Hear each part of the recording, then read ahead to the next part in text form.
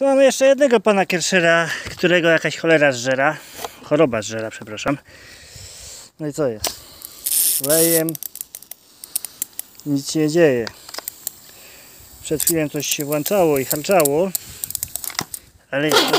O, właśnie, to jest objaw łożyska prawdopodobnie. Ten akurat ładnie leje, ale strasznie hałasuje, tak jakby mu łożysko się w silniku rozlatywało.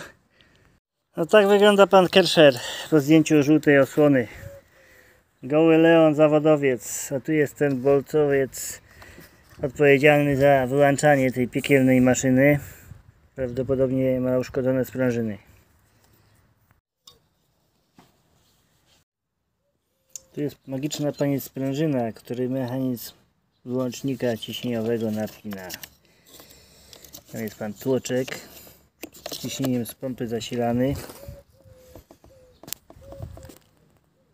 A Żeby to zdemontować, to trzeba siłę zastosować, wcisnąć, obijając. Próbę ogniową, jak to się myje myjką uruchomioną po naprawie na nowo. No po prostu jak ręką odjął. Prawie że. I znowu powtórka. A tu jest drugie życie linki od kosiarki, która lubi przetykać kerszerowskie szparki.